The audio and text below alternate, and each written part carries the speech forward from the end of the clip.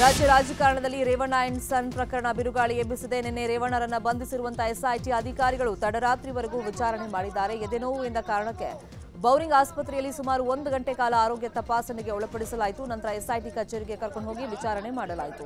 ಇವತ್ತು ಕೋರಮಂಗಲದ ಜಡ್ಜ್ ಮನೆಗೆ ಎಸ್ಐಟಿ ಅಧಿಕಾರಿಗಳು ಕರ್ಕೊಂಡು ಹೋಗ್ತಾರೆ. ಬಹುತೇಕ ನ್ಯಾಯಾಂಗ ಬಂಧನಕ್ಕೆ ಒಪ್ಪಿಸುವಂತ ಸಾಧ್ಯತೆ ಇದೆ. ನ್ಯಾಯಾಧೀಶರು ನ್ಯಾಯಾಂಗ ಬಂಧನಕ್ಕೆ ನೀಡಿದರೆ ರೇವಣ್ಣರನ್ನ ಪರಪ್ಪನ ಅಗ್ರಹಾರಕ್ಕೆ ಶಿಫ್ಟ್ ಮಾಡಲಾಗುತ್ತೆ. ಸೋಮವಾರ ಬಾಡಿ ವಾರೆಂಟ್ ಮೂಲಕ ಎಸ್ಐಟಿ ಮತ್ತೆ ಕಸ್ಟಡಿಗೆ ಪಡ್ಕೊಳ್ಳುತ್ತೆ. ಇನ್ನು ರೇವಣ್ಣ ವಿರುದ್ಧ ದಾಖಲಾಗಿರುವಂತಹ ಕಿಡ್ನಾಪ್ ಸೆಕ್ಷನ್ಗಳು ತುಂಬಾನೇ ಸ್ಟ್ರಾಂಗ್ ಆಗಿವೆ. Three sixty four A section ದಾಖಲಾಗಿದ್ದು, ಇದು ಸಾಬೀತಾದಲ್ಲಿ ಹತ್ತು ವರ್ಷದಿಂದ ಜೀವಾವಧಿ ಶಿಕ್ಷೆನೂ ಆಗಬಹುದು ಇನ್ನು ಸೆಕ್ಷನ್ ತ್ರೀ ಸಿಕ್ಸ್ಟಿ ಫೈವ್ ಅಡಿಯಲ್ಲಿ ಅಪಹರಣ ಕೇಸ್ಗೆ ಸಂಬಂಧಪಟ್ಟಂತೆ ಮೂರರಿಂದ ಏಳು ವರ್ಷ ಶಿಕ್ಷೆ ಅಥವಾ ದಂಡವನ್ನು ವಿಧಿಸಬಹುದು. ಮಾಜಿ ಸಚಿವ ಎಚ್ ಡಿ ರೇವಣ್ಣ ಬಂಧನಕ್ಕೆ ಒಳಗಾಗ್ತಾ ಇದ್ದಂತೆ ಮಾಜಿ ಸಿಎಂ ಕುಮಾರಸ್ವಾಮಿ ಖಾಸಗಿ ಹೋಟೆಲ್ನಲ್ಲಿ ಮಹತ್ವದ ಚರ್ಚೆಯನ್ನು ಮಾಡಿದ್ದಾರೆ. ಜಿಟಿಡಿ ಪುಟ್ರಾಜು, ನಿಖಿಲ್ ಕುಮಾರಸ್ವಾಮಿ ಸೇರಿದಂತೆ ಆಪ್ತರ ಜೊತೆಯಲ್ಲಿ ರಹಸ್ಯ ಚರ್ಚೆಯನ್ನು ಮಾಡಿದ್ದಾರೆ. ರೇವಣ್ಣ ಪ್ರಕರಣದಲ್ಲಿ ಮುಂದಿನ ನಡೆಗಳ ಬಗ್ಗೆ ಮಾತುಕತೆ ನಡೆಸಿದ್ದಾರೆ ಎನ್ನಲಾಗ್ತಾ ಇದೆ. ಮಹಿಳೆ ಕಿಡ್ನಾಪ್ ಕೇಸಲ್ಲಿ ರೇವಣ್ಣರನ್ನ ಎಸ್ಐಟಿ ಬಂಧಿಸಿದ ಬೆನ್ನಲ್ಲೇ ಪ್ರಜ್ವಲ್ ರೇವಣ್ಣ ಕೂಡ ಪೊಲೀಸರಿಗೆ ಶರಣಾಗುವಂತೆ ದೇವೇಗೌಡರು ಸೂಚನೆಯನ್ನ ಕೊಟ್ಟಿದ್ದಾರಂತೆ. ಹೀಗಾಗಿ ಇನ್ನೆರಡು ದಿನಗಳಲ್ಲಿ ಪ್ರಜ್ವಲ್ ರೇವಣ್ಣ ವಿದೇಶದಿಂದ ವಾಪಸ್ ಆಗುವಂತ ಚಾನ್ಸಸ್ ಇದೆ. ಪ್ರಜ್ವಲ್ ಶರಣಾಗದೇ ಇದ್ದಲ್ಲಿ ಕುಟುಂಬದ ಹೆಸರಿಗೆ ಇನ್ನಷ್ಟು ಡ್ಯಾಮೇಜ್ ಆಗುತ್ತೆ. ಬೇಗನೆ ವಿಚಾರಣೆಗೆ ಹಾಜರಾಗಿ ಕಾನೂನು ಹೋರಾಟ ನಡೆಸುವಂತೆ ಗೌಡ್ರು ಸೂಚನೆಯನ್ನ ಕೊಟ್ಟಿದ್ದಾರಂತೆ. ಮಹಿಳೆ ಅಪಹರಣದ ಪ್ರಕರಣದಲ್ಲಿ ರೇವಣ್ಣ ಬಂಧನವಾದ ಬೆನ್ನಲ್ಲೇ ಅವರ ಪತ್ನಿ ಭವಾನಿಗೂ ಸಂಕಷ್ಟ ಎದುರಾಗುವಂತಹ ಸಾಧ್ಯತೆ ಇದೆ. ಭವಾನಿ ಕರ್ಕೊಂಡು ಕರೀತಾ ಇದ್ದಾರೆ ಅಂತ ಹೇಳಿ ಸತೀಶ್ ಬಾಬು. ತನ್ನ ತಾಯಿಯನ್ನ ಕರ್ಕೊಂಡು ಹೋದ್ರು ಅಂತ ಹೇಳಿ ಸಂತ್ರಸ್ತೆಯ ಪುತ್ರ ಪೊಲೀಸರಿಗೆ ಕಂಪ್ಲೇಂಟ್ ಕೊಟ್ಟಿದ್ದಾನೆ. ಹೀಗಾಗಿ ಎಸ್ಐಟಿ ಅಧಿಕಾರಿಗಳು ಭವಾನಿ ರೇವಣ್ಣರನ್ನು ವಿಚಾರಣೆ ನಡೆಸುವಂತ ಸಾಧ್ಯತೆ ಇದೆ. ಇವತ್ತು ಬೆಳಗಾವಿಯಲ್ಲಿ ಸಿಎಂ ಸಿದ್ದರಾಮಯ್ಯ ಹಾಗೂ ಡಿಸಿಎಂ ಡಿಕೆ ಶಿವಕುಮಾರ್ ಜಂಟಿ ಸುದ್ದಿಗೋಷ್ಠಿಯನ್ನು ನಡೆಸಲಿದ್ದಾರೆ. ಬೆಳಗ್ಗೆ ಒಂಬತ್ತುವರೆಗೆ ಬೆಳಗಾವಿ ನಗರದಲ್ಲಿ ಸುದ್ದಿಗೋಷ್ಠಿ ನಡೆಸಲಿದ್ದು, ಹದಿನಾಲ್ಕು ಕ್ಷೇತ್ರಗಳ ಚುನಾವಣೆ ವಿಚಾರ, ಪ್ರಸಕ್ತ ರಾಜಕೀಯ ವಿದ್ಯಮಾನ ಹಾಗೂ ಮಾಜಿ ಸಚಿವ ಎಚ್ ಡಿ ರೇವಣ್ಣ ಬಂಧನ ಸೇರಿದಂತೆ ಹಲವು ವಿಚಾರಗಳ ವಿವರಣೆ ನೀಡುವಂತ ಸಾಧ್ಯತೆ ಇದೆ. ರಾಜ್ಯದಲ್ಲಿ ಎರಡನೇ ಹಂತದ ಮತದಾನಕ್ಕೆ ಕೌಂಟ್ ಡೌನ್ ಸ್ಟಾರ್ಟ್ ಆಗಿದೆ. ನಾಳೆ ಒಂದೇ ದಿನ ಬಾಕಿ. ನಾಳಿದ್ದು ಮಂಗಳವಾರ ಹದಿನಾಲ್ಕು ಕ್ಷೇತ್ರಗಳಿಗೆ ಮತದಾನ ನಡೆಯಲಿದೆ. ಹೀಗಾಗಿ ಇವತ್ತು ಬಹಿರಂಗ ಪ್ರಚಾರಕ್ಕೆ ತೆರೆ ಬೀಳಲಿದೆ. ಇವತ್ತು ಸಂಜೆ ಆರು ಗಂಟೆಗೆ ಬಹಿರಂಗ ಪ್ರಚಾರ ಅಂತ್ಯವಾಗುತ್ತೆ. ನಾಳೆ ಅಭ್ಯರ್ಥಿಗಳು ಮನೆ ಮನೆಗೆ ತೆರಳಿ ಪ್ರಚಾರ ಮಾಡಬಹುದು. ಗೆಲುವಿಗಾಗಿ ಉಭಯ ಪಕ್ಷಗಳ ಅಭ್ಯರ್ಥಿಗಳು ಕೊನೆಯ ಹಂತದ ಕಸರತ್ತು ನಡೆಸ್ತಾ ಶಾಸಕ ಜನಾರ್ದನ್ ರೆಡ್ಡಿ ವಿರುದ್ಧ ಸಚಿವ ಶಿವರಾಜ್ ತಂಗಡಗಿ ಕೆರಳಿ ಕೆಂಡವಾಗ್ಬಿಟ್ಟಿದ್ದಾರೆ. ಕಾರಟಕಿಯಲ್ಲಿ ಮಾತನಾಡಿದ ತಂಗಡಗಿ ರಾಜ್ಯಸಭಾ ಚುನಾವಣೆಗೆ ಮೊದಲು ನನ್ನ ಮನೆ ಸುತ್ತ ಓಡಾಡ್ತಾ ಇದ್ದನ್ನ ಬಹಿರಂಗಪಡಿಸ್ಲಾ? ನಾನು ಪಕ್ಷೇತರನಾಗಿ ಗೆದ್ದಾಗ ನನ್ನ ಮನೆ ಮುಂದೆ ಕಾರ್ ನಿಂತಿದ್ದು ಮರ್ತೋಯ್ತಾ? ಅಂತ ಟಾಂಗ್ ಕೊಟ್ಟಿದ ಎರಡನೇ ಹಂತದ ಚುನಾವಣೆಗೆ ಕ್ಷಣಗಣನೆ ಶುರುವಾಗಿರೋ ಹೊತ್ತಲ್ಲೇ ಬೀದರ್ನ ಕಾಂಗ್ರೆಸ್ ಅಭ್ಯರ್ಥಿ ಸಾಗರ್ ಖಂಡ್ರೆ ಗೆಲುವಿನ ವಿಡಿಯೋ ಸಖತ್ ವೈರಲ್ ಆಗ್ತಾ ಇದೆ. ಸಾಗರ್ ಖಂಡ್ರೆ ಗೆದ್ದೇ ಗೆಲ್ತಾರೆ. ಇಂಟೆಲಿಜೆನ್ಸ್ ರಿಪೋರ್ಟ್ ಬಂದಿದೆ ಅಂತ ಸಚಿವ ರಹೀಂ ಖಾನ್ ನೀಡಿದ ಹೇಳಿಕೆ ಸೋಷಿಯಲ್ ಮೀಡಿಯಾದಲ್ಲಿ ವೈರಲ್ ಆಗ್ತಾ ಇದೆ. ಚುನಾವಣಾ ಪ್ರಚಾರದ ವೇಳೆ ದಿಂಗಾಲೇಶ್ವರ ಸ್ವಾಮೀಜಿ ನೀಡಿದ ಹೇಳಿಕೆ ವಿರುದ್ಧ ಎಫ್ಐಆರ್ ದಾಖಲು ಮಾಡಲಾಗಿದೆ. ನವಲಗುಂದ ಮಾರ್ಕೆಟ್ನಲ್ಲಿ ನಡೆದಿದ್ದ ಸ್ವಾಭಿಮಾನಿ ಮತದಾರರ ಸಮಾವೇಶದಲ್ಲಿ ಮಾತನಾಡಿದ ಸ್ವಾಮೀಜಿ, ಭಸ್ಮ ಹೋಗಿ ಕುಂಕುಮ ಬಂತು, ಭಂಡಾರ ಹೋಗಿ ಕುಂಕುಮ ಬಂತು, ಈಗ ಶರಣು ಶರಣಾರ್ಥಿ ಹೋಗಿ ಹರಿಓಂ ಬಂತು ಅಂತ ಜೋಶಿ ವಿರುದ್ಧ ವಾಗ್ದಾಳಿ ನಡೆಸಿದರು. ಇವರ ಈ ಹೇಳಿಕೆ ವಿರುದ್ಧ ದಿಂಗಾಲೇಶ್ವರ ಸ್ವಾಮೀಜಿ ಮೇಲೆ ಎಫ್ಐಆರ್ ದಾಖಲು ಮಾಡಲಾಗಿದೆ. ಬಾಲಿವುಡ್ ನಟಿ ಹಾಗೂ ಬಿಜೆಪಿ ಅಭ್ಯರ್ಥಿ ಕಂಗನಾ ರಾಣಾವತ್ ವಿರೋಧ ಪಕ್ಷದ ನಾಯಕರನ್ನ ಟೀಕಿಸುವಂತ ಭರದಲ್ಲಿ ಎಡವಟ್ಟನ್ನ ಮಾಡ್ಕೊಂಡ್ಬಿಟ್ಟಿದ್ದಾರೆ. ಆರ್ಜೆಡಿ ಮುಖ್ಯಸ್ಥ ತೇಜಸ್ವಿ ಯಾದವ್ರನ್ನ ಟೀಕಿಸುವಂತ ಭರದಲ್ಲಿ ಬಿಜೆಪಿ ಸಂಸದ ತೇಜಸ್ವಿ ಸೂರ್ಯ ವಿರುದ್ಧ ಹರಿಹಾಯ್ದಿದ್ದಾರೆ. ಈ ವಿಡಿಯೋ ಸೋಷಿಯಲ್ ಮೀಡಿಯಾದಲ್ಲಿ ವೈರಲ್ ಆಗ್ತಿದೆ. ಬೆಂಗಳೂರಲ್ಲಿ ವಿಪ್ರೋ ವತಿಯಿಂದ ಮ್ಯಾರಥಾನ್ ಹಮ್ಮಿಕೊಳ್ಳಲಾಗಿತ್ತು. ಆರೋಗ್ಯಕರ ಜೀವನ ಶೈಲಿಯನ್ನು ಅಳವಡಿಸಿಕೊಳ್ಳುವುದಕ್ಕೆ ಓಟ ಹೆಸರಲ್ಲಿ ಮ್ಯಾರಥಾನ್ ನಡೆಯಿತು ನಗರದ ನೂರಾರು ಯುವಕ ಯುವತಿಯರು ಪಾಲ್ಗೊಂಡಿದ್ದರು ಕಂಠೀರವ ಸ್ಟೇಡಿಯಂನಿಂದ ಆರಂಭವಾದ ಓಟ ನಗರದ ಪ್ರಮುಖ ರಸ್ತೆಗಳಲ್ಲಿ ಸಾಗಿತು.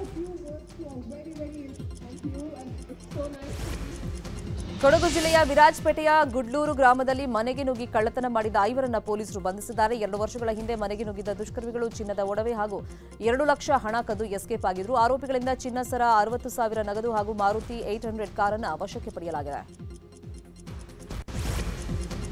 ತೆಲಂಗಾಣದ ಖ್ಯಾತ ಜಾನಪದ ಕಲಾವಿದ ಹಾಗೂ ಪದ್ಮಶ್ರೀ ಪ್ರಶಸ್ತಿ ಪುರಸ್ಕೃತ ದರ್ಶನ ಮೊಗಿಲಯ್ಯ ಕಿನ್ನರಿ ವಾದ್ಯವಕ್ಕೆ ಮರುಜೀವವನ್ನು ಕೊಟ್ಟವರು. ಹೀಗಾಗಿ ಎರಡು ಸಾವಿರದ ಇಪ್ಪತ್ತೆರಡರಲ್ಲಿ ದರ್ಶನ ಮೊಗಿಲಯ್ಯರಿಗೆ ಕೇಂದ್ರ ಸರ್ಕಾರ ಪದ್ಮಶ್ರೀ ಪ್ರಶಸ್ತಿ ನೀಡಿ ಗೌರವಿಸಿತ್ತು. ಆದರೆ ಈಗ ಎಪ್ಪತ್ಮೂರು ವರ್ಷದ ದರ್ಶನ ಮೊಗಿಲಯ್ಯರ ವಿಡಿಯೋ ಒಂದು ಹರಿದಾಡ್ತಾ ಇದೆ. ಹೊಟ್ಟೆಪಾಡಿಗೆ ದಿನಗೂಲಿ ನೌಕರರಾಗಿ ಕೂಲಿ ಕೆಲಸ ಮಾಡ್ತಾ ಇದ್ದ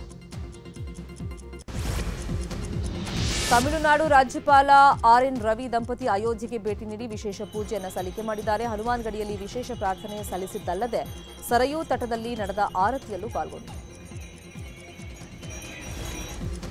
ಬೆಂಗಳೂರಿನ ಎಲೆಕ್ಟ್ರಾನಿಕ್ ಸಿಟಿ ಫ್ಲೈಓವರ್ ಮೇಲೆ ಸರಣಿ ಅಪಘಾತ ಸಂಭವಿಸಿದೆ ಫ್ಲೈಓವರ್ ಮೇಲೆ ಮುಂದೆ ಹೋಗ್ತಾ ಇದ್ದ ಕಾರ್ ದಿಢೀರ್ ಬ್ರೇಕ್ ಹಾಕಿದ ಪರಿಣಾಮ ಹಿಂಬದಿ ಕಾರ್ಗಳು ಒಂದಕ್ಕೊಂದು ಡಿಕ್ಕಿಯಾಗಿವೆ.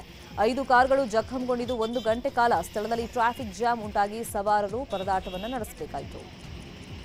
ಚಾಮರಾಜನಗರ ಜಿಲ್ಲೆಯ ಮಲೆ ಮಹದೇಶ್ವರ ಬೆಟ್ಟದಲ್ಲಿ ಮಳೆಯಾಗಿದೆ. ಮಾದಪ್ಪನ ಸನ್ನಿಧಿಯಲ್ಲಿ ವರುಣ ಅಬ್ಬರಿಸಿದ್ದು ಭೂಮಿಗೆ ತಂಪನ್ನು ಎದ್ದಿದ್ದಾನೆ. ಮಳೆಯಿಂದಾಗಿ ಜನರ ಮೊಗದಲ್ಲಿ ಮಂದಹಾಸ ಮೂಡಿದೆ. ದೇಶದಲ್ಲಿ ದಿನೇ ದಿನೇ ರಣ ಬಿಸಿಲಿನ ಅಬ್ಬರ ಜೋರಾಗಿದ್ದು ಮಹಾರಾಷ್ಟ್ರದಲ್ಲಿ ಹನಿ ನೀರಿಗೂ ಪರದಾಡುವಂತ ಪರಿಸ್ಥಿತಿ ಸ್ಟಾರ್ಟ್ ಆಗಿದೆ. ಸಾಂಗ್ಲಿ ಅನೇಕ ತಾಲೂಕುಗಳಲ್ಲಿ ಕೆರೆಗಳೆಲ್ಲ ಬತ್ತಿ ಹೋಗಿದ್ದು ಬೋರ್ವೆಲ್ಗಳು ತೊಟ್ಟಿಗ್ತಾ ಇವೆ. ಜನಪ್ರತಿನಿಧಿಗಳಿಗೆ ಹೇಳಿದ್ರು ನಮ್ಮ ಕಷ್ಟ ಕೇಳೋರಿಲ್ಲ ಅಂತ ಜನ ಹಿಡಿ ಶಾಪ ಹಾಕ್ತಾ ಇದ್ದಾರೆ. ಬ್ರೆಜಿಲ್ನಲ್ಲಿ ರಕ್ಕಸ ಮಳೆ ಅಬ್ಬರಿಸ್ತಾ ಇದೆ. ಕಳೆದ ಕೆಲವು ದಿನಗಳಿಂದ ಬಿಟ್ಟು ಬಿಡದೆ ಮಳೆಯಾಗ್ತಾ ಇದ್ದು ಐವತ್ತಾರು ಮಂದಿ ಸಾವನ್ನಪ್ಪಿದ್ದಾರೆ. ರಸ್ತೆಗಳೆಲ್ಲ ಬಾಯ್ಬಿಟ್ಟಿದ್ದು ಊರಿಗೂರೆ ಕೆರೆ ತರ ಕಾಣಿಸ್ತಾ ಇದೆ. ವರುಣನ ಅಬ್ಬರಕ್ಕೆ ಜನಜೀವನ ಸಂಪೂರ್ಣವಾಗಿ ಅಸ್ತವ್ಯಸ್ತವಾಗಿದೆ. ಮಳೆಯಿಂದಾಗಿ ಜನ ಮನೆಯಿಂದ ಹೊರಗಡೆ ಬರೋಕ್ಕಾಗ್ತಾ ಇಲ್ಲ ಅಂತ ಪರಿಸ್ಥಿತಿ ನಿರ್ಮಾಣವಾಗಿದೆ. ರಕ್ಕಸ ಮಳೆಯಿಂದಾಗಿ ಸಾವಿನ ಪ್ರಮಾಣ ಇನ್ನಷ್ಟು ಜಾಸ್ತಿಯಾಗೋ ಸಾಧ್ಯತೆ ಇದೆ. ಯೋಗಾಸನಕ್ಕೆ ವಿಶ್ವ ಮಾನ್ಯತೆ ದೊರೆತು ಹತ್ತು ವರ್ಷಗಳಾದರೂ ನೆರೆ ರಾಷ್ಟ್ರ ಪಾಕಿಸ್ತಾನದಲ್ಲಿ ಈವರೆಗೂ ಯೋಗಕ್ಕೆ ಮನ್ನಣೆ ದೊರೆತಿರಲಿಲ್ಲ. ಆದರೆ ಇದೇ ಮೊದಲ ಬಾರಿಗೆ ಪಾಕಿಸ್ತಾನಕ್ಕೂ ಯೋಗ ಪ್ರವೇಶ ಮಾಡಿದೆ. ಪಾಕಿಸ್ತಾನದ ಸರ್ಕಾರಿ ಸಂಸ್ಥೆಯೊಂದು ಯೋಗಾಸನ ಕಳಿಸೋಕೆ ಮುಂದಾಗಿದೆ. ಇಸ್ಲಾಮಾಬಾದ್ ನಿರ್ವಹಣೆ ಜವಾಬ್ದಾರಿ ಹೊತ್ತಿರುವಂತಹ ಅಭಿವೃದ್ಧಿ ಪ್ರಾಧಿಕಾರದ ಫೇಸ್ಬುಕ್ ಖಾತೆಯಲ್ಲಿ ಯೋಗಾಸನ ಮಾಡ್ತಿರುವಂತಹ ಫೋಟೋ ಶೇರ್ ಮಾಡಲಾಗಿದೆ. ಬೆಂಗಳೂರಿನಲ್ಲಿ ನಡೆದ ಆರ್ಸಿಬಿ ಮತ್ತು ಗುಜರಾತ್ ಟೈಟನ್ಸ್ ನಡುವಿನ ಪಂದ್ಯದಲ್ಲಿ ಬೆಂಗಳೂರು ಹುಡುಗರು ಭರ್ಜರಿ ಗೆಲುವನ್ನು ಸಾಧಿಸಿದ್ದಾರೆ. ಟಾಸ್ ಗೆದ್ದು ಬೌಲಿಂಗ್ ಆಯ್ಕೆ ಮಾಡಿಕೊಂಡ ಆರ್ಸಿಬಿ ಭರ್ಜರಿ ಬೌಲಿಂಗ್ ಮಾಡಿತು. ಹತ್ತೊಂಬತ್ತು ಪಾಯಿಂಟ್ ಮೂರು ಓವರ್ಗೆ ತನ್ನೆಲ್ಲ ವಿಕೆಟ್ ಕಳ್ಕೊಂಡ ಗುಜರಾತ್ ಕೇವಲ ನೂರ ನಲವತ್ತೇಳು ರನ್ ಗಳಿಸಿತು. ಈ ಗುರಿ ಬೆನ್ನತ್ತಿದ ಆರ್ಸಿಬಿ ಹದಿಮೂರು ಪಾಯಿಂಟ್ ನಾಲ್ಕು ಓವರ್ನಲ್ಲೇ ಗೆದ್ದು ಬೀಗಿದೆ. ಪ್ಲೇ ಆಫ್ಗೆ ಎಂಟ್ರಿ ಕೊಡೋದಕ್ಕೆ ಸರ್ಕಸ್ ಮಾಡ್ತಿರುವಂತಹ ಕೋಲ್ಕತಾ ನೈಟ್ ರೈಡರ್ಸ್ ಹಾಗೂ ಲಖನೌ ಸೂಪರ್ ಜಾಯಿಂಟ್ಸ್ ಇವತ್ತು ಮುಖಾಮುಖಿಯಾಗಲಿವೆ.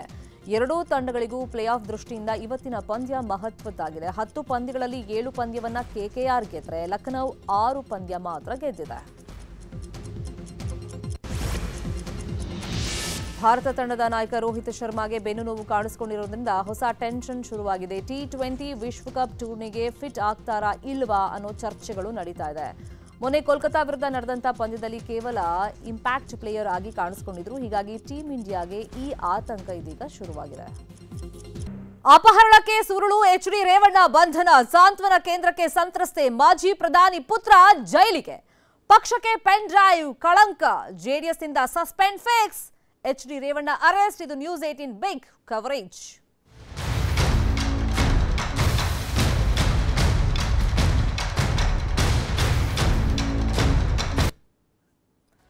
ಮಾಜಿ ಪ್ರಧಾನಿಯ ಪುತ್ರ ಶಾಸಕ ರೇವಣ್ಣ ಅರೆಸ್ಟ್ ಆಗಿದ್ದಾರೆ. ಮಹಿಳೆಯ ಕಿಡ್ನಾಪ್ ಕೇಸಲ್ಲಿ ರೇವಣ್ಣ ಅವರನ್ನ ನಿನ್ನೆ ಸಂಜೆ ಎಸ್ಐಟಿ ಅಧಿಕಾರಿಗಳು ಬಂಧಿಸಿದ್ದಾರೆ. ಸದ್ಯಕ್ಕೆ ಸಿಐಡಿ ಕಚೇರಿಯಲ್ಲಿ ಹೊಳೆ ನರಸೀಪುರ ಶಾಸಕ ಇದ್ದಾರೆ. ನಿನ್ನೆ ಅವ್ರನ್ನ ಮೆಡಿಕಲ್ ಟೆಸ್ಟ್ಗೆ ಆಸ್ ಪರ್ ಪ್ರೊಸೀಜರ್ ಒಳಪಡಿಸಲಾಗಿತ್ತು. ನನಗೆ ಎದೆ ನೋವು ಇದೆ ಅಂತಲೂ ಅವ್ರು ಹೇಳ್ಕೊಂಡಿದ್ರಿಂದ ಬೌರಿಂಗ್ ಆಸ್ಪತ್ರೆಗೆಲ್ಲ ಕರ್ಕೊಂಡು ಹೋದ್ರು. ಸುಮಾರು ಒಂದು ಗಂಟೆ ಕಾಲ ಆರೋಗ್ಯ ತಪಾಸಣೆಗೆಲ್ಲ ಒಳಪಡಿಸಲಾಯಿತು. ಸೊ ಇವತ್ತು ಭಾನುವಾರ ಆಗಿರೋ ಕಾರಣ ಜಡ್ಜ್ ಮುಂದೆ ಎಸ್ಐಟಿ ಅಧಿಕಾರಿಗಳು ಹಾಜರುಪಡಿಸ್ತಾರೆ. ರೇವಣ್ಣಗೆ ಬಹುತೇಕ ನ್ಯಾಯಾಂಗ ಬಂಧನ ಫಿಕ್ಸ್ ಆಗುವಂತ ಚಾನ್ಸಸ್ ಇದೆ. ನ್ಯಾಯಾಂಗ ಬಂಧನ ಆದ್ರೆ ರೇವಣ್ಣನ ಸೀದಾ ಕರ್ಕೊಂಡು ಹೋಗೋದು ಪರಪ್ಪನ ಅಗ್ರಹಾರಕ್ಕೆ. ಇವತ್ತು ಕೋರ್ಟ್ಗೆ ರಜೆ ಕಾರಣ ನಾಳೆ ಎಸ್ಐಟಿ ತನ್ನ ಕಸ್ಟಡಿಗೆ ಪಡ್ಕೊಳ್ಳೋ ಚಾನ್ಸಸ್ ಇದೆ ಬಾಡಿ ವಾರೆಂಟ್ ಮೂಲಕ. ಎರಡು ಕೇಸ್ಗಳ ಸಂಬಂಧ ಎಸ್ಐಟಿ ವಿಚಾರಣೆ ಮಾಡುತ್ತೆ. ಒಂದು ಲೈಂಗಿಕ ದೌರ್ಜನ್ಯ ಕೇಸ್, ಮತ್ತೊಂದು ಮಹಿಳೆಯನ್ನ ಕಿಡ್ನಾಪ್ ಮಾಡಿರುವಂತ ಕೇಸ್. ಎಸ್ಐಟಿ ಹಿರಿಯ ಅಧಿಕಾರಿಗಳಿಂದ ರೇವಣ್ಣ ವಿಚಾರಣೆಯನ್ನ ಒಂದ್ ರೌಂಡ್ ಮಾಡಿದ್ದಾರೆ. ಎಡಿಜಿಪಿ ಬಿಕೆ ಸಿಂಗ್ ಹಾಗೂ ತಂಡದಿಂದ ವಿಚಾರಣೆಯನ್ನು ನಡೆಸಲಾಗಿದೆ. ಹಲವಾರು ಮಾಹಿತಿಯನ್ನ ಎಸ್ಐಟಿ ಅಧಿಕಾರಿಗಳು ಪ್ರಾಥಮಿಕವಾಗಿ ಸಂಗ್ರಹವನ್ನ ಮಾಡಿದ್ದಾರೆ. ವಿಚಾರಣೆ ಸಂದರ್ಭದಲ್ಲಿ ಒಂದಿಷ್ಟು ಮಾಹಿತಿಯನ್ನ ರೇವಣ್ಣ ಹೇಳ್ಕೊಂಡಿದ್ದಾರಂತೆ. ತನಗೂ ಆ ಮಹಿಳೆಗೂ ಈ ಥರದ್ದು ಯಾವುದು ಆಕೆ ಕಂಪ್ಲೇಂಟ್ ಕೊಟ್ಟಿರೋ ರೀತಿ ನಡೆದಿಲ್ಲ. ಸುಮಾರು ವರ್ಷಗಳಿಂದ ಆಕೆ ನಮ್ಮ ಮನೇಲಿ ಕೆಲಸ ಮಾಡ್ಕೊಂಡಿದ್ಲು. ಎಲೆಕ್ಷನ್ ಟೈಮ್ನಲ್ಲೂ ಆಕೆ ಬಂದಿದ್ಲು ಅಂತಷ್ಟೇ ಹೇಳಿಕೆಯನ್ನು ಕೊಟ್ಟಿದ್ದಾರಂತೆ. ಇನ್ನು ಸುದೀರ್ಘವಾಗಿ ಈ ಪ್ರಕರಣದಲ್ಲಿ ವಿಚಾರಣೆ ಆಗಬೇಕಾಗುತ್ತೆ. ಎಸ್ಪೆಷಲಿ ಈ ಕಿಡ್ನಾಪ್ ಕೇಸ್ ಇದೆಯಲ್ಲ, ಆಕೆ ಕಂಪ್ಲೇಂಟ್ ಕೊಟ್ಟ ಮೇಲೆ ಕಿಡ್ನಾಪ್ ಆಗಿದ್ದಾರೆ ಅಂತ ಆಕೆ ಪುತ್ರನೇ ಕಂಪ್ಲೇಂಟ್ ಕೊಟ್ಟಿದ್ದಾರೆ. ಅದರಲ್ಲಿ ಸ್ಟ್ರಾಂಗ್ ಆಗಿ ಸೆಕ್ಷನ್ಗಳನ್ನ ಹಾಕಲಾಗಿದೆ. ಅದು ರೇವಣ್ಣಗೆ ಈಗ ಕಂಟಕವಾಗುವಂತ ಸಾಧ್ಯತೆ ಇದೆ.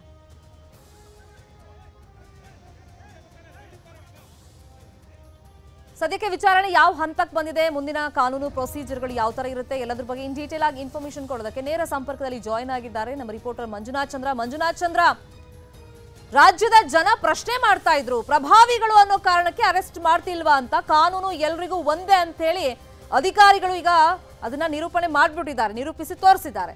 ಸೊ ಈಗ ವಿಚಾರಣೆ ಸಂದರ್ಭದಲ್ಲಿ ಪ್ರಾಥಮಿಕವಾಗಿ ರೇವಣ್ಣ ಆ ಕಂಪ್ಲೇಂಟ್ ಬಗ್ಗೆ, ಆ ಮಹಿಳೆ ಬಗ್ಗೆ ಏನೆಲ್ಲ ಹೇಳ್ಕೊಂಡಿದ್ದಾರಂತೆ, ಇವತ್ತೇನೆಲ್ಲ ಪ್ರೊಸೀಜರ್ಗಳು ನಡೆಯುತ್ತೆ?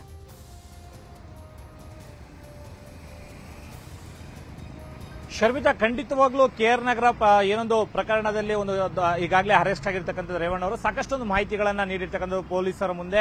ಅಂದ್ರೆ ಎಸ್ ಐ ಟಿ ತನಿಖೆ ಮಾಡ್ತಾ ಮಾಡ್ತಾ ಬಗದಷ್ಟು ಸಾಕಷ್ಟು ಸಾಕಷ್ಟೊಂದು ಮಾಹಿತಿಗಳನ್ನ ರೇವಣ್ಣರಿಂದ ಪಡೆದಿರ್ತಕ್ಕಂಥದ್ದು.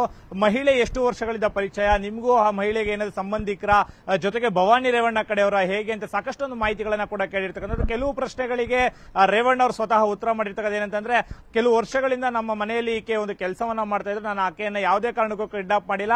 ಎಲೆಕ್ಷನ್ ಹತ್ರ ಇರೋ ಕಾರಣದಿಂದ ನಮ್ಮ ಮನೆಗೆ ಬರ್ತಾ ಇದ್ರು, ಹೋಗ್ತಾ ಇದ್ರು ಅನ್ನೋ ರೀತಿಯಲ್ಲಿ ಉತ್ತರವನ್ನ ಕೂಡ ಕೊಟ್ಟಿರ್ತಕ್ಕಂಥದ್ದು.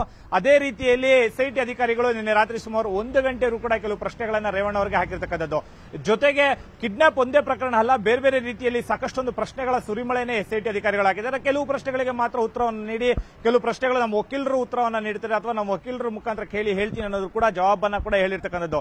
ಸದ್ಯಕ್ಕೆ ಇನ್ನ ಈ ಎಸ್ಐಟಿ ಅಧಿಕಾರಿಗಳು ಇವತ್ತು ನ್ಯಾಯಾಧೀಶರ ಮುಂದೆ, ಮಧ್ಯಾಹ್ನದ ನಂತರ ಒಂದು ನ್ಯಾಯಾಧೀಶರ ಮುಂದೆ ಹಾಜರುಪಡಿಸ್ತಾರೆ. ಅಂದ್ರೆ ಎನ್ ಜಿ ವಿ ಕಾಲೋನಿ ಏನಿದೆ ಕೋರ್ಮಂಗ್ಲಾ ಬಳಿ, ಅಲ್ಲಿ ನ್ಯಾಯಾಧೀಶರ ಮನೆ ಮುಂದೆ, ಮನೆಯಲ್ಲಿ ಒಂದು ಹಾಜರುಪಡಿಸ್ತಾರೆ. ಆ ಕಚೇರಿಯಲ್ಲಿ ಆಗ ಇವತ್ತು ರಜೆ ಇರೋ ಕಾರಣದಿಂದ ಏನು, ಒಂದು ವೇಳೆ ಏನಾದರೂ ಒಂದು ಜೈಲು ಅಂತ ಏನಾದರೂ ನ್ಯಾಯಾಧೀಶರು ತೀರ್ಪನ್ನ ನೀಡಿದ್ರೆ ಖಂಡಿತವಾಗ್ಲೂ ಇವತ್ತು ರೇವಣ್ಣನವರು ಜೈಲಿಗೆ ಗತಿ ಜೊತೆಗೆ ನಾಳೆ ಎಸ್ಐಟಿ ಅಧಿಕಾರಿಗಳು ಒಂದು ಈಗಾಗಲೇ ಒಂದು ಸಿದ್ಧತೆಯನ್ನು ನಡೆಸಿಕೊಂಡಿರ್ತಕ್ಕಂಥ ಅಂತಂದ್ರೆ ಬಾಡಿ ವಾರೆಂಟ್ ಅನ್ನ ಒಂದು ಅಪ್ಲಿಕೇಶನ್ ಅನ್ನ ಹಾಕಿ ನಾಳೆ ರೇವಣ್ಣನ ಕಸ್ಟಡಿಗೆ ಪಡುವಂತಹ ಸಾಧ್ಯತೆಗಳು ಕೂಡ ಎಲ್ಲಾ ರೀತಿಯ ಸಿದ್ಧತೆಗಳನ್ನು ಕೂಡ ಎಸ್ಐಟಿ ತನಿಖಾ ತಂಡ ಮಾಡಿರ್ತಕ್ಕಂಥದ್ದು. ಸದ್ಯಕ್ಕೆ ರೇವಣ್ಣ ಹೇಳಿಕೆಗಳು ಹಾಗೂ ಕೆಲಸದಾಕೆ ಅಂದ್ರೆ ಏನೊಂದು ಈ ಸಂತ್ರಸ್ತೆ ಮಹಿಳೆ ಏನಿದ್ದಾಳೆ ಆಕೆ ಹೇಳಿಕೆಯನ್ನು ಕೂಡ ಹೊಂದಾಣೆ ಆಗ್ತಾ ಇಲ್ಲ ಅನ್ನೋದು ಎಸ್ಐಟಿ ಅಧಿಕಾರಿಗಳು ತನಿಖೆಯಲ್ಲಿ ಗೊತ್ತಾಗ್ತಾ ಇರ್ತಕ್ಕಂಥದ್ದು. ಇನ್ನು ಸಂತ್ರಸ್ತೆ ಹೇಳಿಕೆ ನಿನ್ನೆ ಏನು? ಆಕೆ ಒಂದು ಒನ್ ಸಿಕ್ಸ್ಟಿ ಫೋರ್ ಸ್ಟೇಟ್ಮೆಂಟ್ ಅನ್ನ ಮಾಡಿದ್ರು ನ್ಯಾಯಾಧೀಶರ ಮುಂದೆ. ಆ ಹೇಳಿಕೆಯನ್ನು ಪಡೆದಿರ್ತಕ್ಕಂಥ ತನಿಖಾಧಿಕಾರಿ ಅಂದ್ರೆ ಐಒ ಪ್ರಮುಖವಾಗಿ ಒನ್ ಸಿಕ್ಸ್ಟಿ ಫೋರ್ ಸ್ಟೇಟ್ಮೆಂಟ್ ಅಥವಾ ಒನ್ ಸಿಕ್ಸ್ಟಿ ಟೂ ಆದ್ರೆ ಈ ಒಂದು ತನಿಖೆಯಲ್ಲಿ ಒನ್ ಸಿಕ್ಸ್ಟಿ ಫೋರ್ ಆಗಿರೋದ್ರಿಂದ. ಟೈಪಿಸ್ಟ್ ಹಾಗೂ ಜಡ್ಜ್ ಮುಂದೆ ಮಾತ್ರ ಸಂತ್ರಸ್ತೆ ಹೇಳಿಕೆ ನೀಡಿರೋದ್ರಿಂದ ಕೆಲವು ಮಾಹಿತಿಗಳನ್ನ ಐಒಗಳಿಗೆ ನ್ಯಾಯಾಧೀಶರು ಕೊಟ್ಟಿರ್ತಕ್ಕಂಥದ್ದು. ಆ ಐಒ ಪ್ರಶ್ನೆ ಸೂರ್ಯ ಪ್ರಶ್ನೆಗಳನ್ನ ರೆಡಿ ಮಾಡಿ ಸಂತ್ರಸ್ತ ಮಹಿಳೆ ಹಾಗೂ ರೇವಣ್ಣನ ಒಂದು ವೇಳೆ ಎದುರು ಬದ್ರು ಕೂತು ಪ್ರಶ್ನೆಗಳನ್ನ ಕೂಡ ಕೇಳುವಂತ ಸಾಧ್ಯತೆಗಳು ಕೂಡ ಕಂಡು ಬರ್ತಾ ಇರ್ತಕ್ಕಂಥದ್ದು. ಸದ್ಯಕ್ಕೆ ಇವತ್ತಿನ ಪರಿಸ್ಥಿತಿ ನೋಡೋದಾದ್ರೆ ರೇವಣ್ಣ ನ್ಯಾಯಾಧೀಶರ ಮುಂದೆ ಹಾಜರುಪಡಿಸಿ ಜೈಲಿಗೆ ಕಳುಹಿಸುವಂತ ಸಾಧ್ಯತೆಗಳು ಕೂಡ ಕಂಡು ಬರ್ತಾ ಇರ್ತಕ್ಕಂಥದ್ದು ಸದ್ಯಕ್ಕೆ. ಶರ್ಮಿತಾ. ಮಂಜುನಾಥ್ ಚಂದ್ರ ತಮ್ಮೆಲ್ಲ ಇನ್ಫಾರ್ಮೇಶನ್ಗೆ ಇನ್ನು ರೇವಣ್ಣ ಅವರನ್ನ ಪಕ್ಷದಿಂದ ಸಸ್ಪೆಂಡ್ ಮಾಡೋ ಚಿಂತನೆಯಲ್ಲೂ ಕೂಡ ಇದ್ದಾರಂತೆ ದೇವೇಗೌಡರು. ಈ ಬಗ್ಗೆ ಮಾಹಿತಿನೂ ಇದೆ. ಇನ್ನು ಈ ಕಿಡ್ನಾಪ್ ಕೇಸ್ ಇದೆಯಲ್ಲ, ಇದು ತುಂಬಾನೇ ಇಂಟ್ರೆಸ್ಟಿಂಗ್ ಆಗಿದೆ. ಆ ಸೀನ್ಗಳನ್ನ ಇಮ್ಯಾಜಿನ್ ಮಾಡ್ಕೊಂಡ್ರೆ ಒಂಥರ ಸಿನಿಮಾ ರೇಂಜಲ್ಲಿ ಇದೆ ಅದು. ರೇವಣ್ಣ ವಿರುದ್ಧದ ಕಿಡ್ನಾಪ್ ಕೇಸ್ ಪ್ರಕರಣದಲ್ಲಿ ಸಂತ್ರಸ್ತೆಯನ್ನ ಈಗ ಎಸ್ ಐ ಟಿ ಅಧಿಕಾರಿಗಳು ರಕ್ಷಣೆ ಮಾಡಿದ್ದಾರೆ. ರೇವಣ್ಣ ಆಪ್ತನ ತೋಟದ ಮನೆಯಲ್ಲಿ ಸಂತ್ರಸ್ತೆ ಇದ್ರು. ಅಲ್ಲಿಂದ ಕರ್ಕೊಂಡ್ ಬಂದಿದ್ದಾರೆ ಅಧಿಕಾರಿಗಳು. ಹುಣಸೂರಿನ ಕಾಳೇನಹಳ್ಳಿಯಲ್ಲಿ ತೋಟದ ಮನೆ ಇದೆ. ಅಧಿಕಾರಿಗಳನ್ನ ನೋಡಿದ ತಕ್ಷಣ ಸಂತ್ರಸ್ತೆ ಕಣ್ಣೀರನ್ನ ಹಾಕಿದ್ದಾರಂತೆ. ಮಹಿಳಾ ಸಾಂತ್ವನ ಕೇಂದ್ರಕ್ಕೆ ಎಸ್ಐಟಿ ಅಧಿಕಾರಿಗಳು ಆಕೆಯನ್ನ ಶಿಫ್ಟ್ ಮಾಡಿದ್ದಾರೆ. ತುಂಬಾ ಹೆದರ್ಕೊಂಡಿದ್ದಾರಂತೆ. ಈಗ ಆಕೆ ಪುತ್ರ ಕಂಪ್ಲೇಂಟ್ ಕೊಟ್ಟ ಪ್ರಕಾರ ಭವಾನಿ ರೇವಣ್ಣ ಅವರು, ರೇವಣ್ಣ ಅವ್ರು ಕರೀತಾ ಇದ್ದಾರೆ, ಬನ್ನಿ ಅಂತ ಹೇಳಿದ್ರಂತೆ. ಆ ಮಹಿಳೆಯನ್ನು ಕರ್ಕೊಂಡು ಹೋಗಿದ್ದಾರೆ. ಅದಾದ್ಮೇಲೆ ಆಕೆ ಕಾಣಿಸ್ತಿರ್ಲಿಲ್ಲ. ಸೊ ಹಾಗಾಗಿ ಕಂಪ್ಲೇಂಟ್ ಕೊಟ್ಟಿದ್ರು. ಕಂಪ್ಲೇಂಟ್ ಕೊಟ್ಟಾದ್ಮೇಲೆ ರೇವಣ್ಣಕ್ಕೆ ಸಂಬಂಧಪಟ್ಟಂತ ಸುಮಾರು ಸ್ಥಳಗಳಲ್ಲಿ ಹುಡುಕಾಟವನ್ನ ನಡೆಸಿದ ಮೇಲೆ ಅವರ ಆಪ್ತನ ತೋಟದ ಮನೆಯಲ್ಲಿ ಆಕೆ ಸಿಕ್ಕಿದ್ದಾರೆ. ಸದ್ಯಕ್ಕೆ ಹೆದರುಕೊಂಡಿದ್ದಾರೆ. ಅವ್ರಿಗೊಂದಿಷ್ಟು ಧೈರ್ಯವನ್ನು ತುಂಬಿ ವಿಚಾರಣೆಗೊಳಪಡಿಸ್ತಾರೆ ಎಸ್ಐಟಿ ಅಧಿಕಾರಿಗಳು.